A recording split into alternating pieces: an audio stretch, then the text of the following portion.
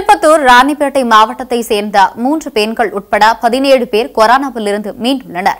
மேலும் வேலூர் மாவட்டத்தில் கொரோனா தொற்று கட்டுப்படுத்தப்பட்டு வருவதாக கூறுகிறார் நமது செய்தியாளர் ராஜேஸ்வரன். வேலூர் மாவட்டத்தின் தற்போது நிலவரப்படி கொரோனா பாதிப்பு படிப்படியாக குறைந்து வருகிறது.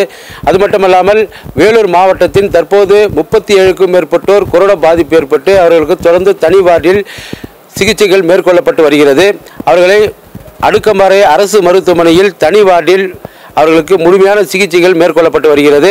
அது மட்டுமல்லாமல் கடந்த பதினாலாம் தேதி முதல் ராணிப்பேட்டை மாவட்டத்திலும் பதினெட்டாம் தேதி முதல் வேலூர் மாவட்டத்திலும் தொடர்ந்து இந்த கொரோனா தொற்று பாதிப்பு ஏழு நாட்களாக குறைந்துள்ளதாக முதற்கட்ட தகவல் வந்து தெரிவித்திருக்கிறது. வேலூர் மாவட்ட ஆட்சியர் முதற்கட்டமாக பதினெட்டாம் தேதி முதல் கொ- கொரோனா பாதிப்பு அதிகம் உள்ள பகுதி சுமார் ஆறு பகுதிகளை தேர்ந்தெடுத்து அந்த ஆறு பகுதிகளிலும் முழுமையான ஊரடங்கு உத்தரவு பிறப்பிக்கப்பட்டு ஒருவரையும் அந்த பகுதியிலிருந்து யாரும் வெளிவராதபடிக்கு ஆறு இடங்களில் மருத்துவ முகாம்கள் ஏற்படுத்தப்பட்டு அவர்களுக்கு தொடர்ந்து வந்து தீவிர சிகிச்சை அளிக்க அளிக்கப்பட்டதின் பேரில் தற்பொழுது இந்த கொரோனா பாதிப்பு கட்டுக்குள் கொண்டு வரப்பட்டுள்ளது என்று கூறலாம். அது மட்டுமல்லாமல் இன்று தற்போது ராணிப்பேட்டை மாவட்டத்தில் ஏழு பேரும் திருப்பத்தூர் மாவட்டத்தைச் சேர்ந்த பத்து பேரும் அதாவது ஆக மொத்தம் பதினேழு பேரை வேலூர் அரசு மருத்துவக் கல்லூரியில் சிகிச்சை பெற்று வந்தவர்களுக்கு தொற்று இல்லை என உறுதி செய்யப்பட்டு அவர்களை இன்று வீட்டுக்கு அனுப்பி வைக்கும் இன்று இன்று ஏற்படுத்தப்பட்டது. இன்று அவர்களை பதினேழு பேரையும் ம- மருத்துவக் கல்லூரி முதல்வர்